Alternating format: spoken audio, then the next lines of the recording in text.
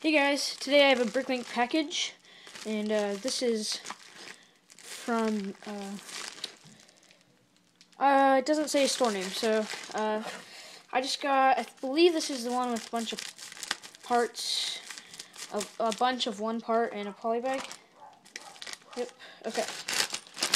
So the first thing we got was this elephant poly bag. I thought that was pretty cool. It was pretty cheap in the store, so I grabbed it um, while I bought stuff. And for a new mock, I got like 103, I think, to even out the total of the price.